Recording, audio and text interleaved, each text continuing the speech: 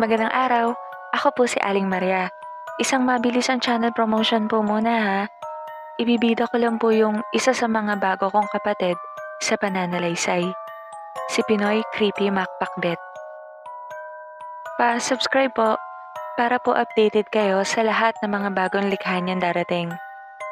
Muli, Pinoy Creepy Macpakbet. Maraming salamat po. Hindi ko maipaliwanag ngunit may kung ano sa akin.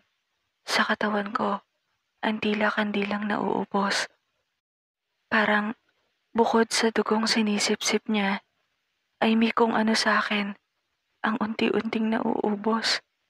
Humigpit lalo ang sabunot ko sa buhok niya. Ngunit, ni hindi niya ata ito alintana.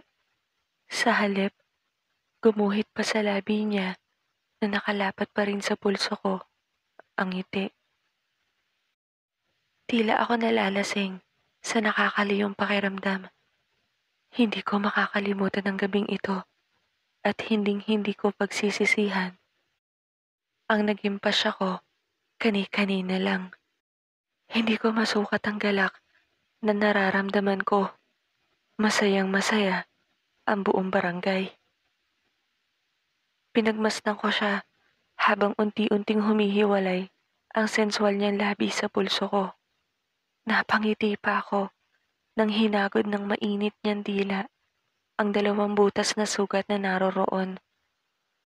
Magkahalo ang pagkapantastiko at ang aking pagngiti nang makitang unti-unting sumasara ang dalawang butas na sugat na ginawa niya roon. Bago marahas niyang sinakop ang mga labi kong nakaawang. Napapikit ako sa tamis ng halik. Sabay kaming sumayaw sa ritmo ng tugtuging ang mga hubad lang naming katawan ang nakakarinig.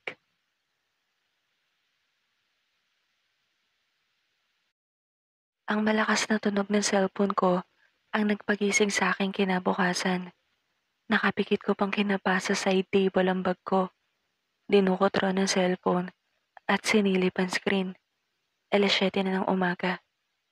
Bumuhos ang realisasyon nang maalala ang nangyari kagabi. Tila may pumitik sa sentido ko nang bigla akong bumangon. Maging ang mabilis na kirot sa aking kasalanan. Napasapo ako sa puson. Agad hinablot ang kumot na nasa tabi upang ibalot sa aking kahubdan bago mabilis na tumungo sa banyo. Napapalatak ako nang makita ang itsura sa nadaan ng salamin.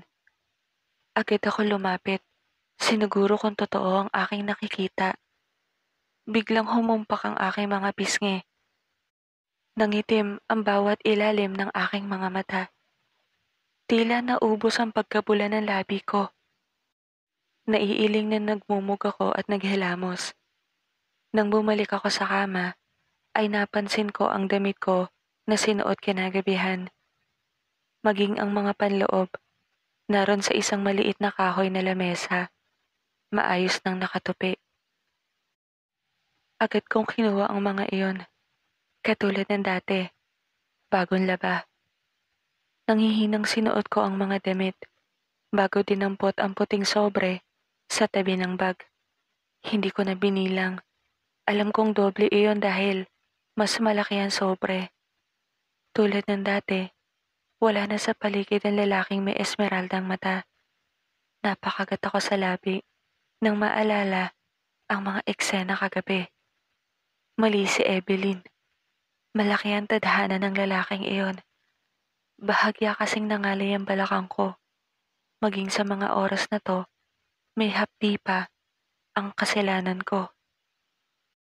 Napabuntong hininga ako nang makita ang pulang bahid ng dugo sa puting sapin. Alam ko, ito na ang huli. Sa hindi ko maipaliwanag na dahilan, nararamdaman ko kasi.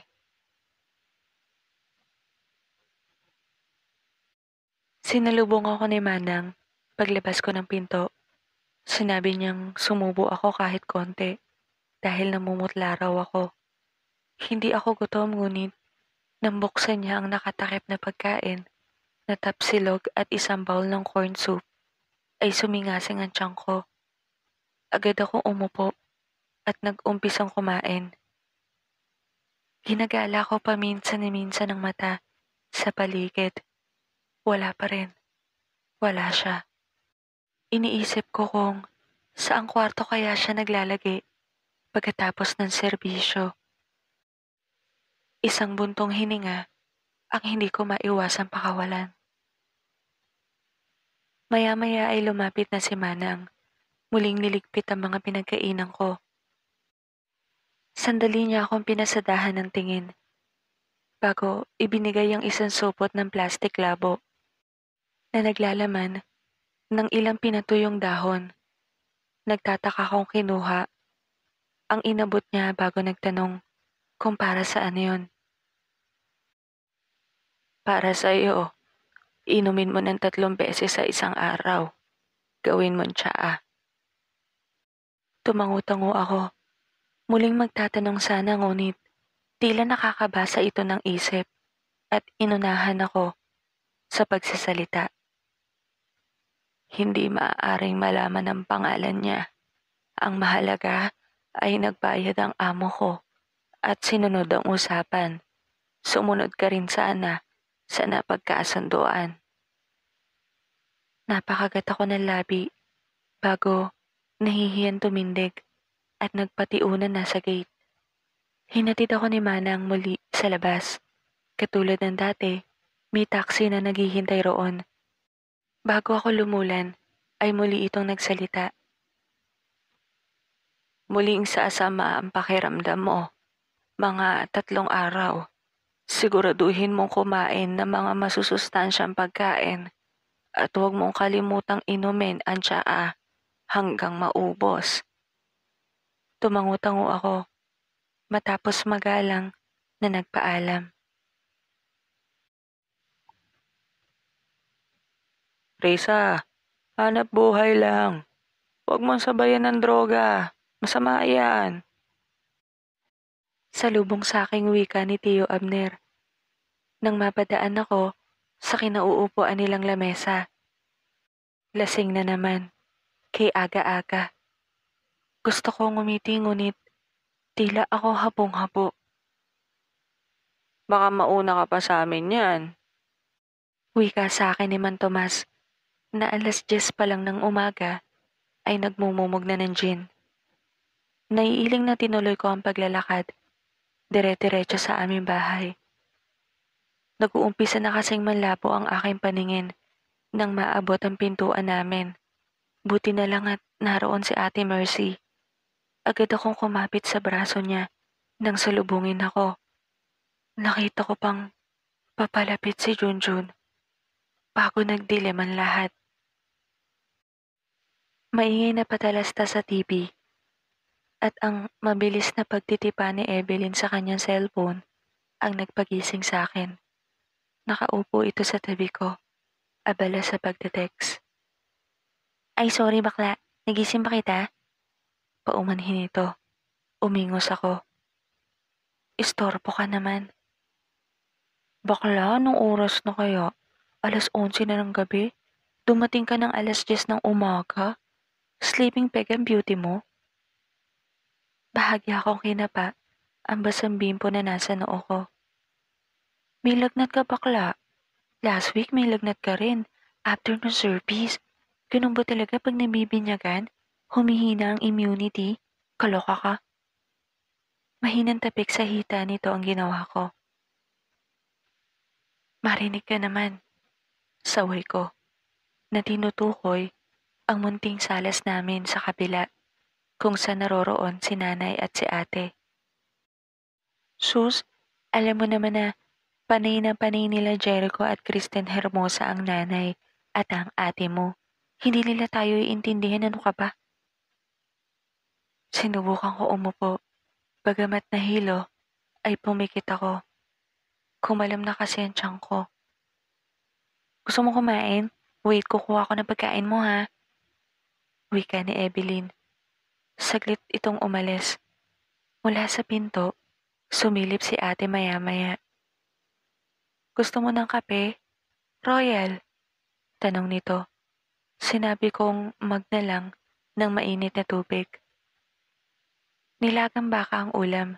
Magana akong kumain. Tila ako gutom na gutom. Inabot ko ang bag na nakasabit sa dingding. Kinuha roon ang tsaa raw na kailangan kong ubusin. Kumuha ako ng ilang dakot, inilagay sa mainit na mag. Saglit kong tinabi, maya-maya ay iinumin ko ito. Pagkatapos kumain, ay sumandal ako. Latang-lata ang pakiramdam ko. Mukhang hindi ata ako makakalabas bukas o sa mga susunod na araw. Gustong gusto ko lang talaga magpahinga.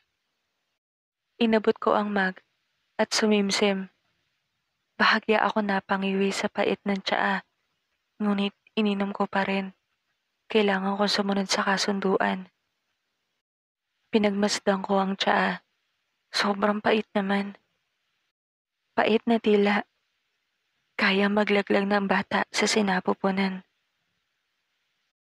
Girl, carry naman yung maging masipag ka pero 24 hours ka nang nag-duty. Carry mo yun? Tanong ni Evelyn sa akin maya-maya. Nakita ko ang pag-aalala sa mukha niya habang sinisipat ang mukha ko. Wala ka bang service ngayon? Tanong ko. Umiling ito. Ayoko na magpukpok-wakla. Aangkat na ako ng mga isda. May nakita akong pwesto dun sa palengke. Kaya ako na ang bagong reyna ng banyera. Wika nito. Tumangutango ako. Hindi naman ako nag-street duty eh. Ang totoo, endo na ako kahapon.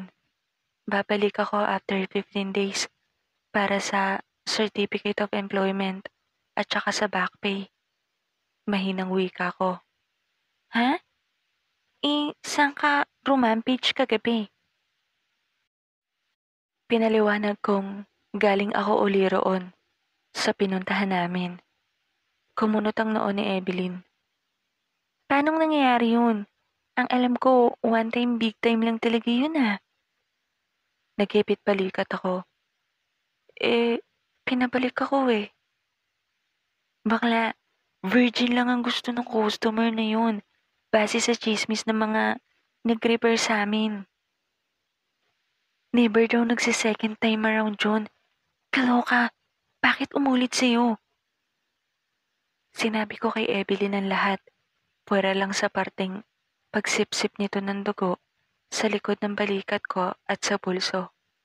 Hindi ko alam ngunit may parte sa utak kong pinipigil akong ikwento ito kahit sa pinakamatali kong kaibigan. Kaloka, ibig sabihin, hindi kanya na ganun nung una, pero nagbayad siya. Ah, baka ayaw niya ng borlog. Sabagay, kahit sino naman, mawawala ng gana pag tinulugan ka ng kasyukara mo, di ba? Saglit kong naalala ang mainit na tagpo namin nung lalaking may esmeraldang mata. Napakagat ako sa labi. Alam mo, nakakaloka rin yung kasambahay na tenders, no? Ang cheka kasi sa akin nung bugaw na nag-repair sa handler ko. Pag upo raw nila dun sa sopa, umalis daw yung matanda, kumuha ng juice at pagkain. Tapos pinakain sila. Nung natapos na daw sila, ang press release daw ni Manang, pwede na daw silang umuwi. Kasi hindi raw virgin yung dila nilang babae. Ang chika naman sa akin, totoo naman talaga na hindi na, pero slightly used pa lang. Pero tingas-tangi daw si mother. Gusto daw yung taintim ang birhen talaga, yung nakabelo ganun. Kaya yun, nasira sila sa customer. At yun nga yung dahilan kung bakit tayo napakandirit doon. Ang taray no, may sa manguhula ata yun.